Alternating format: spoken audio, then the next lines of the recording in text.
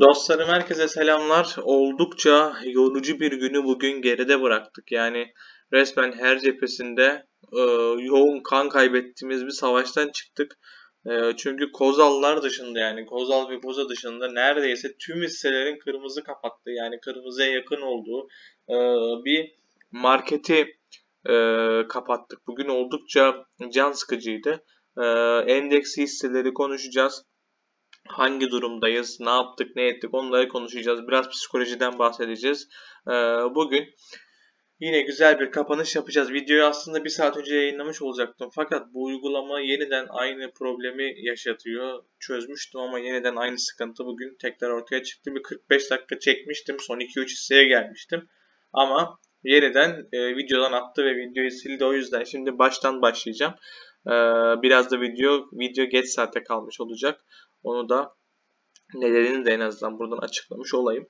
Ee, arkadaşlar bir de şeyi söyleyeyim. Kanala abone olup e, videoyu beğenirseniz çok sevinirim. Bunun gerçekten ciddi bir faydası oluyor. Ara ara artık bunu hatırlatayım demiştim sizlere. Yine aklıma gelmişken onu da söyleyeyim.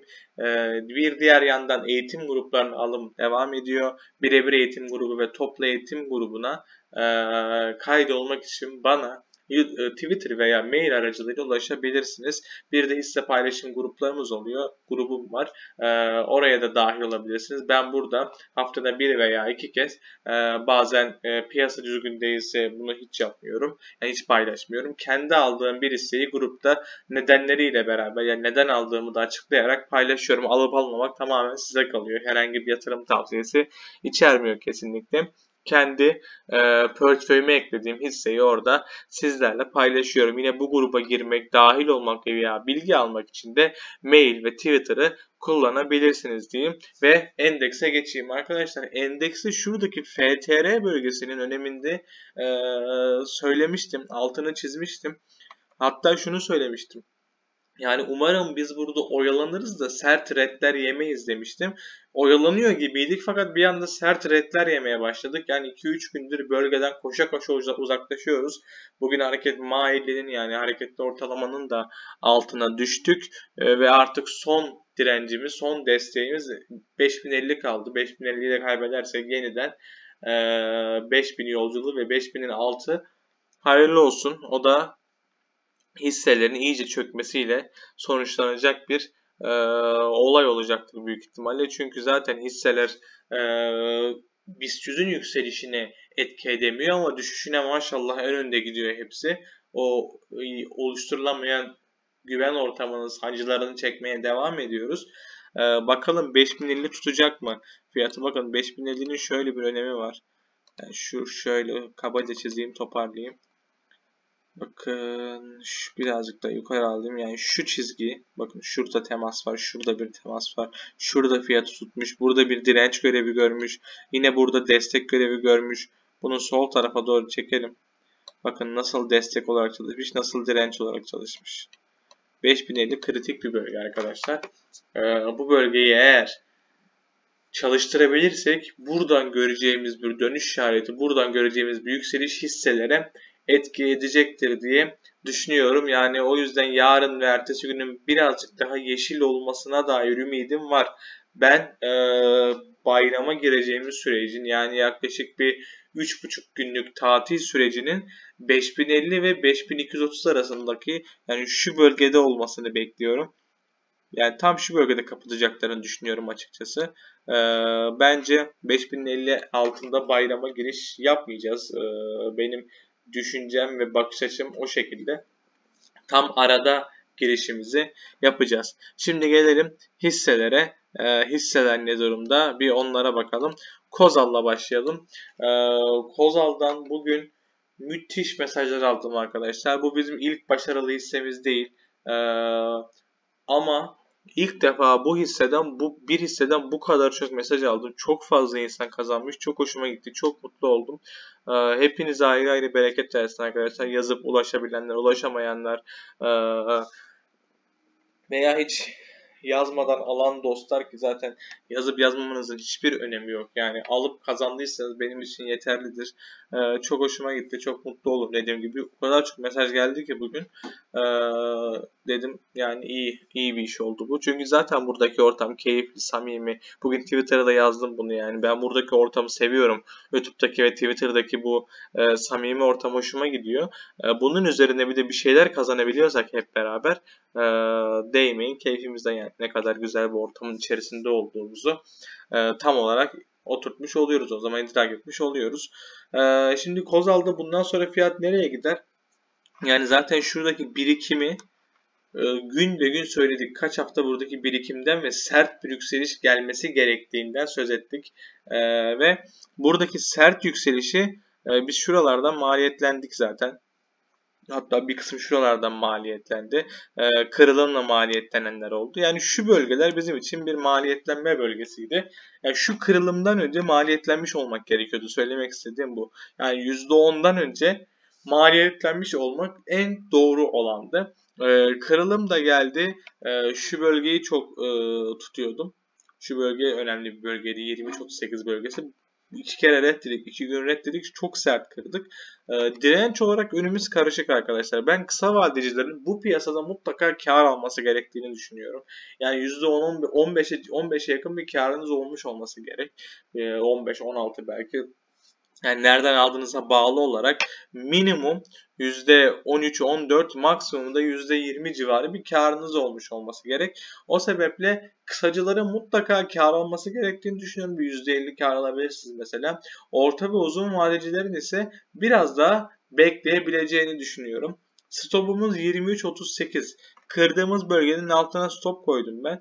Ee, yarın açılışa bakacağım. Duruma göre biraz kar alacağım ve 23.38 altı stopla Kozal takip etmeye çalışacağım. Ben de %15-16 kardayım yanlış hatırlamıyorsam. Yani o civarlarda ben de sizle beraber şuralardan giremedim ben de. Daha yukarılardan girdim. Ya şu bölgelerden ya şuralardan girmiş olmam lazım. Ee, dediğim gibi 23.38'in altına stop koyacağım ve beklemeye başlayacağım. Kopar giderse ne ala e, geri gelirse de yatay desen altına sarkarsa da stoplayıp hisseden çıkmış olacağım arkadaşlar. Kozal'a dair beklentim ve e, hareket stratejim tamamen bu şekilde e, diye bilirim. Sonraki hisseye geçeyim. Alfas arkadaşlar Alfas bugün çok çok daha iyi giderdi aslında fakat şurada bir de, direnci var Alfas'ın. Ya fark etmişsinizdir zaten. Bakın şu bölgede bir direnci var. Fiyat buraya her geldiğinde bir tepki veriyor. Yani şuradan döndüğü kutuya geldi. Buradan döndü kutuya geldi. Yine buradan dönüp kutuya gelecek mi? Ee, merak ediyorum açıkçası. Yeniden bir kutuya gelebilir. Ben 314 altı kapanış stopuyla takip ediyorum. Zaten 280'lerden maliyetlenmiştim. 350 civarında %50'sini sattım. Kalan %50'siyle de 314 TL'ye stop koydum. Ya da maliyetinize de stop koyabilirsiniz. Bu tamamen sizin tercihinize ve nereden maliyetlendiğinize bağlı. Ee, ben 314 TL altına stop koydum. Ee, ve giderse gider gitmezse stop eder. Zaten karımı almışım maliyetimin üzerinde. Kafam rahat bir şekilde e, izleyeceğim. Benim beklentim 380'leri görmesi. Ben 380'leri e, göreceğini düşünüyorum. Görmesi gerektiğini düşünüyorum. Hatta o bölgeyi aşarsa 400'ün üzerinde yine zirvelere gitmesini bekliyorum. E, o, o açıdan %100'ünü satmadım zaten. Alfas'ın potansiyeli var çünkü ivmeli ilerleyiş sürüyor.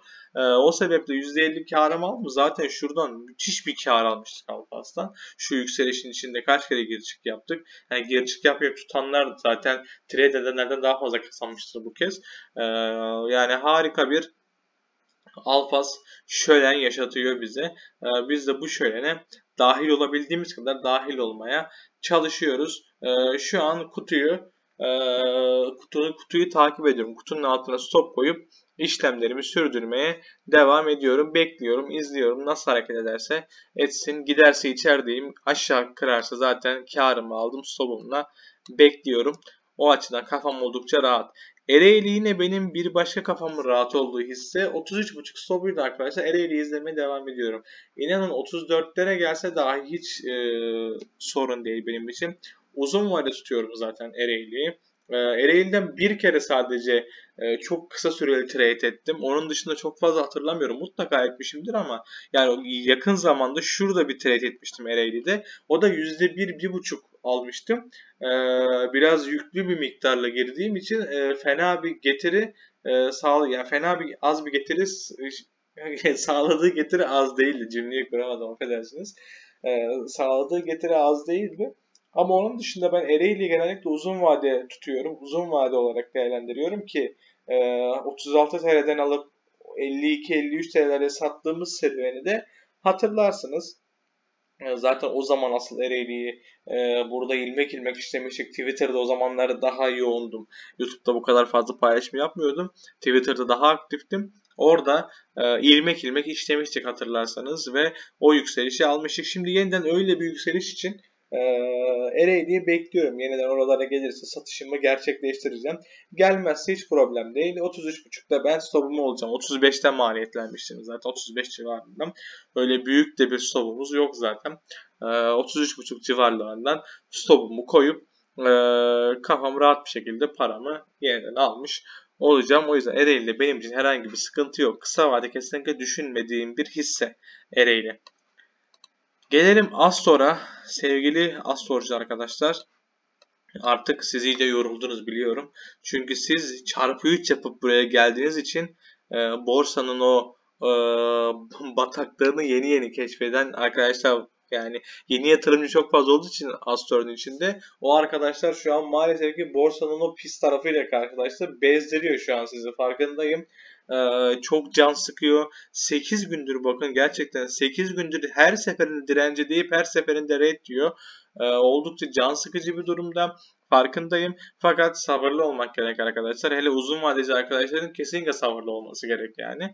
Kısacılar için ise yeniden turuncu kutuya geldi bakın. 51-60, 52-50 aralığına. Buradan bir dönüş yapacak mı bakalım. Buradan bir e, ivme yakalayacak mı? Şurada yakalamıştı ama buradan yakaladığı ivme bakın bir kırılım vermemişti. E, %6'lık bir yükseliş vermiş ama bunu yakalamak da tabii çok kolay değildi. Ee, onun dışında kırılım gelmezse kırılım 54-55'lere falan denk geliyor. Bakmıştım 54-60'a falan denk geliyor.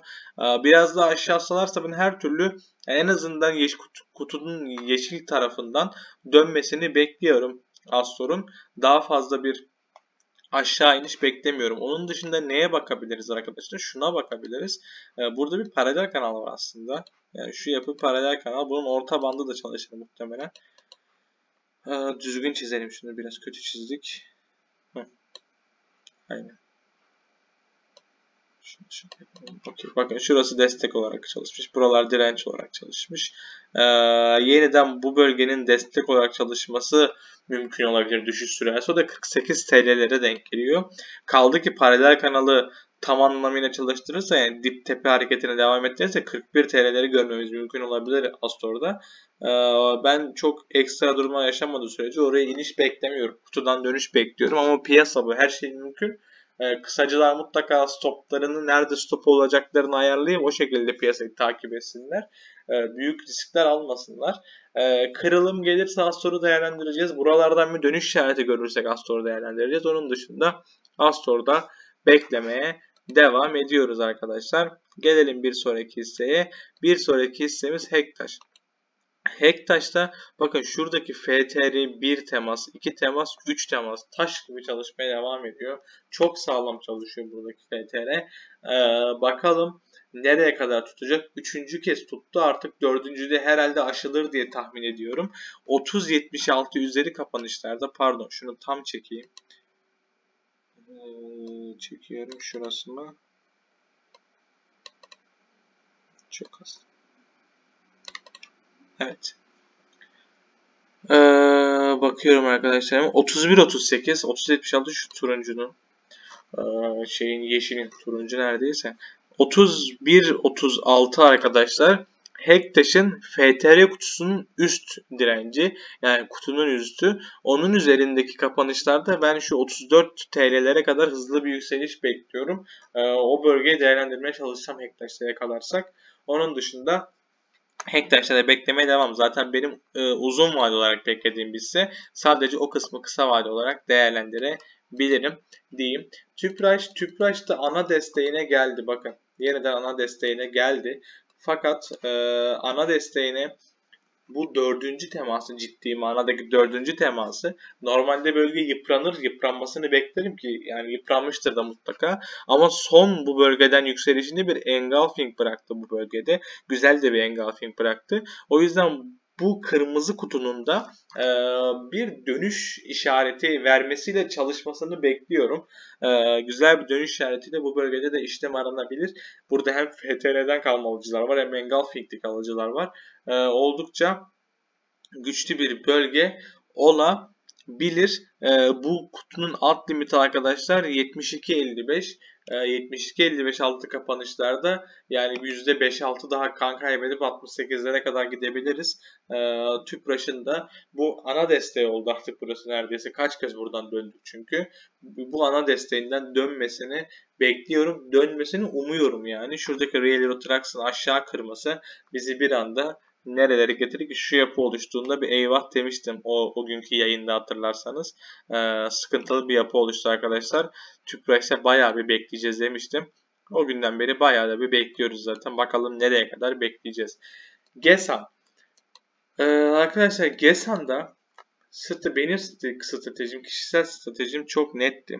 Ben 65 TL'lerden maliyetlendim. Yükselişten sonra stopumu gelip 74 TL'ye koydum. Bakın şu kutunun altına koydum. Ben stop olursam her türlü her türlü belli bir miktarda kar sağlamış olacağım. Onun dışında yukarıda yaptığı hareketler yani kar marjı %50'lere 60'lara ulaşırsa ee, bir %50'sini mutlaka ama mutlaka çekerim. Hatta yani e, ben 100 TL yaklaşınca %50'sini hemen elden çıkaracağım. Yani benim bakış açım şu an 96-97'lerde falan direkt çıkarabilirim %50'sini elden. E, onun dışında ya gelir stop olur gelsen ya da hareketine devam eder ve yukarıyı zorlar. Ee, benim için yukarı gitmemesi için şu an bir sebep yok açıkçası. Yani markete saymazsak marketin kendisi zaten düşüşler için bir sebep de. Onu saymazsak eğer e, düşüş için pek bir sebep yok ortada. Öyle açık gitmesi gerekiyor. E, fakat şunu söylemeliyim. Arkadaşlar buralardan GESAN alınmaz. Yüz, bakın yani bizim aldığımız yerden yani şu bölgelerden yaklaşık %30 yükselmiş bir e, hisseden bahsediyoruz. Hadi e, şuradan girmiş olun. Yani oradan bile %20 yükselmiş. Yani haberden sonra girmiş olun. Onu da geçtim. İlk kırılımdan sonra girmiş olun ki buradan artık stopu bunun %9,5, %10. Yani bunu hangi kasa kaldırabilir bilmiyorum %10 stopu. Ee, onun dışında yani 81-82'nin üzerinde buna girmek 83, 84, 85, 86, 87 buralardan Gesan'a girmek intihar arkadaş. Tepeden kitlenmeyin lütfen ya. Yani stopunuza uzak olan işlemlere girmeyin. Bu büyük bir intihardır yani. Çok büyük bir e, hatadır. Lütfen bu hataya düşmeyin. İşlemlerinizi alırken özellikle kısa vadeli arkadaşlar stop miktarınızı gözeterek alın. Bunu bakın her videoda altını çiziyorum. Tekrar söyleyeyim. Stop e, bizim yani nasıl desem can simidimiz ya. Çok önemli. Dünyadaki bütün profesyonel traderlar e, stop olurlar. Çünkü adamlar profesyonel. Markete karşı kazanamayacaklarını, markete karşı inat ederlerse bir başarıya ulaşamayacaklarını biliyorlar. Muhtemelen daha önce zaten bunu denemişler ve yapamamışlar. Olmaz da zaten hiçbir piyasada bu olmaz. Bu tüm finansal piyasalar için geçerli. Stop olmazsanız arkadaşlar çekirgede bir zıplar, iki zıplar, üç zıplar çok şanslısınızdır. Dördüncüyle zıplarsınız. Zaten o kadar parayı kazandığınız için hiçbir zaman geri çekilemezsiniz. Hep daha fazlasını istersiniz. Psikoloji bu. Ve daha fazlasını istediğiniz bir zamanda öyle bir içeride kalırsınız ki marketi belki ilelebet elveda dersiniz. O yüzden mutlaka e, stop kullanın. Stop çok önemli. Bakın biz hisse grubunda e, 4'te 4 gidiyorduk hisselerde. Yani 4 işlemin verdiğimiz 4 işlemin 4'ü de başarılı gidiyordu. Fakat bugün 2 hissemizi stoplayıp çıktık. Neden? Çünkü bizim beklediğimiz formasyonlar bozuldu. Stop miktarımıza geldi. Stoplayıp çıktık. E, bu bizim için bir kayıp mı? Mutlaka kayıptır. %4'ler, 5'ler, 3'ler yani mutlaka belli bir miktar kaybetmişizdir. Fakat biz burada ana paramızı güvence altına alıp sonraki işlemlerde onu çıkarmaya çalışıyoruz. Bakın ben de, ben de bugün 3-4 tane işlemimiz topladım. E, totalde bir %13-14 falan kaybettim. Belki bir 15'i bulmuştur da henüz e, kendi e, günlüğüme, trade günlüğüme bunları işlemediğim için net konuşamıyorum. E, yani maksimum %15 gitmiştir ama Kozal var elinde %10 yaptı yani. E, bir anda eksim %5'e düştü. Artıda olduğum başka hisseler de var benim. Portföyümü çeşitlendirme nedeni bu zaten benim. Ben olabildiğince çeşitlendiriyorum portföyümü. Ya bu, bu kadar kötü bir günde bile bir şekilde ayakta kalabiliyoruz ki bu kadar kötü bir günde toplamda %10 stop olup da çıkılabilir. Bunda bir şey yok yani. Marketin kendisi bu çünkü. Bir günde %30, 3 tane 4 tane tavan yakaladığımız günler oluyorsa bunlar da olacak. Bunları kabullenmezsek diğer tarafta çok fazla e, başarı sağlayamayız zaten. Bunu bir kabullenmiş olmamız gerek. E, yani bu markette kayıp edeceğimizi önemli olan kaybımızı kontrol etmemiz gerektiği kısmını kabullenmiş olmak gerek. İşte o zaman e, sahiden belli bir seviyeyi aşmış olacağız ki bunu siz de çok iyi fark edeceksiniz. Dileğin e, bu ayrımı bir an önce yapmış olmanız. Çünkü stop olmak evet e, söylemesi kolay fakat icraata geçmesi gerçekten zor bir şeydir. E, anlatması kolaydır belki ama yani o bir tuşa basıp para kaybetmenizi onaylamanız biraz zordur. Genelde insan şuradan döner buradan döner demeyi sever. Ben de dedim yıllarca. Ama öyle olmuyor arkadaşlar. Bir dostunuz, bir kardeşiniz, bir abiniz olarak bunu size içtenlikle söyleyebilirim deyip devam ediyorum. Gesan'da 74 TL stopuyla. Biraz hızlanıyorum. Arkadaşlar Petkim'de ee, şöyle bir destek keşfettim. Yani çok sağlıklı değil ama buradan yine bir tepki almış gözüküyor. Ben hareketin artık 15.5 16 15.80'lere kadar sürmesini bekliyorum Petkim'de. Ee, bir düşüşün de onayı olmuş gibi oldu. Ee, dediğim gibi Petkim'de artık bir yükselişin devamı gelmeli. Yeniden sıfırdan işleme girmek için bence uygun değil. Ben e, Petkim'de işlemde değilim. E, fakat içeride olanlar için söylüyorum. Benim en azından bir 15-80-16'lara kadar bir yükseliş beklentim mevcut. Bunu rahatlıkla söyleyebilirim. Bir sonraki hissemiz BİM arkadaşlar. BİM'e nazar değdirdik. Harika gidiyordu. Bugün eksi 2 yaptı. Yapsın bir problem yok. Ben tutmaya devam ediyorum. BİM'i. Yani öyle şu an kar alacak kadar da bir yükseliş görmedik. Yani şu an %9 falan içeride. Ee, yani şurada şu bölgeyi alt aşağı kırarsa stoplayabilirim. Burada bir FTR'miz var. 153 TL altına düştüğü an stoplarım. Zaten 148'den almışız. %2-3 kar olur o da. Belki neyi beklerim? Yani maliyeti beklerim. Ee, yani BİM'de şu an bir reaksiyon almak için gerçekten erken. Ee, bekliyorum, izliyorum. Duruma göre BİM'de hareket edeceğim. Ee, bakın bugün BİM'den de çıkmış olsam mesela artı olarak çıkmış olacağım. Yani stoplarımla da beraber Kozal ve BİM bana artı geçmiş oluyor zaten her türlü. Ama bekliyorum. Ee, piyasa toparlanınca BİM'in de yeniden e, harekete geçeceğini düşünüyorum. BİM de hala pozitifin bize net olarak çık diyene kadar. Bir diğer ismimiz Koza. Ee, Koza şu talep bölgesinden sekti. Ben bunu yakalayamadım. Ee, zaten çok öyle net benim e, trade ettiğim bir coin değil Koza. Bir kere FTR'sinden para almışım şuralarda bir yerde. Onun dışında e, çok net işlemler aldığım bir hisse değil. Şu bölge çok ciddi bir direnç. Twitter'da da yazdım. Ben bu bölgeden bir tepki beklerim dedim. E, bir iğneledi sekti, iki iğneledi sekti. Üçüncü de direkt tavan yaptı. E, red bile yemedi. Çok ufak bir oyalanma yaptı burada şu iki iğneyle. Daha sonrasında tavan yaptı geçti. Bana açıkçası önü boş geliyor. E, yani üstteki 59 TL bölgesine kadar önü boş. Fakat bir yandan da çok primlendi. Onu da göz ardı etmek istemiyorum. Yani kutuyu açtığından beri %30-35 yükseldim. E, stopu da uzak. Yani 45-46 altına stop koyacağız. O da, o da çok uzak. E, kutunun içerisinde bir çekilme olursa değerlendirebilirim. E, onun dışında Kozal'da çok fazla işlem aramıyorum. Zaten Kozal'da içerideyim. Yani benzer hareket edeceklerini düşünürsek eğer e, yani aynı teraziye iki tane ürün koymaya, aynı sepete iki yumurta koymaya hiç gerek yok. Yani sepet düşerse iki yumurtadan da olmayalım en azından deyip e, Koza'da grafiksel olarak bir yükseliş gözükse de e, stopunun da uzaklığı nedeniyle çok fazla dahil olmayı düşünmüyorum. Onu da söyleyeyim. Türk Telekom Türk Telekom arkadaşlar size kar almanın e, artık doğru olduğunu söylediğim zamanlarda kar almak gerekiyor demiştim. Fakat öyle olumsuz bir durumda yok. Kar almayan arkadaşlar da kar almadıkları için e, sıkıntı yapmasınlar. Hala 19 TL'lerdeyiz. Zaten 17.80'lerde almıştık. Öyle e, %7-8 artıdayız hala minimum. O sebeple dileyenler buradan karla çıkabilir. Dileyenler ise maliyetini stop atıp girdiği yere stop atıp kutuyu açmasını bekleyebilirler. Çünkü kutu altında biraz birikim yapacak gibi duruyor. Ee, ben biraz bekleyeceğim açıkçası. Nasıl hareket edeceğini izleyeyim. Ne yapacak ne edecek bir göreyim. Ona göre hareket edeceğim. Şu an onda da büyük bir sıkıntımız bulunmamakta.